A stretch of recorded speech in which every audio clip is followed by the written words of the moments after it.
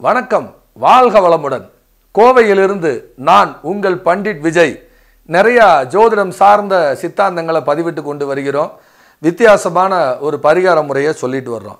இந்த ஒவ்வொரு திதிகளில் பிறந்தவங்களுக்கு எப்படி பலன் இருக்குன்னு சொல்லிக்கிட்டு வர்றேன் பரிகாரத்தோட. துவிதியை திதியில் ஒருத்தவங்க பிறந்துட்டாங்க. அது வளர்பிற தேய்பிற ரெண்டாவது பரிகாரத்துக்குள்ளே போகலாம். துவிதிய திதியில் பிறந்துட்டாலே பெரும்பாலும் சகோதர சகோதரிகளே அவங்களுக்கு எதிரி. பெற்றோரே இவங்களுக்கு எதிராக சகோதர சகோதரிக்கு ஆதரவாக செயல்படுறாங்க. நான் பார்த்தவரை நிறைய துவிதிய தீதியில் பிறந்தவங்க. எங்கள் அப்பா பாருங்க எனக்கு சொத்து கொடுக்கல எனக்கு தெரியாமலே என் தங்கச்சி பேருக்கு எழுதி வச்சுட்டாரு. இல்லை என் தம்பி பேருக்கு மொத்த சொத்தையும் எழுதி வச்சுட்டாரு. என் கூட வந்து கடைசி வரைக்கும் இருக்கலை. கடைசி வரைக்கும் என் தம்பி பிரச்சனை அண்ணன் பிரச்சனை இப்படி சொன்னவங்களே அதிகம். பொதுவாக ஒரு திதிகளில் பிறக்கிறவங்களுக்கு இரண்டு ராசிகள் அடிபடும். அமாவாசை பௌர்ணமியை தவிர.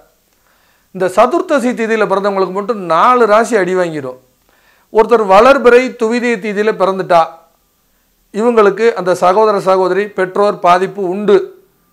ஸோ இவங்க என்ன பண்ணிக்கிறணும்னா வளர்பிறையில் பிறந்தா சுவாமி மலைக்கு பக்கத்தில் திருவைக்காவூர் சிவன் வழிபாடு. அந்த திதி என்று செய்தால் திதி தோஷம் விலகுகிறது. சரி நான் தேய்பிறையில் பிறந்துட்டேன்.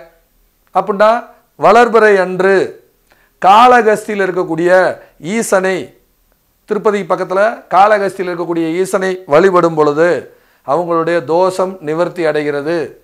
அந்த திதி அன்னைக்கு தான் போகணும். திதியை பிடித்தால் விதியை வெல்லலாம்.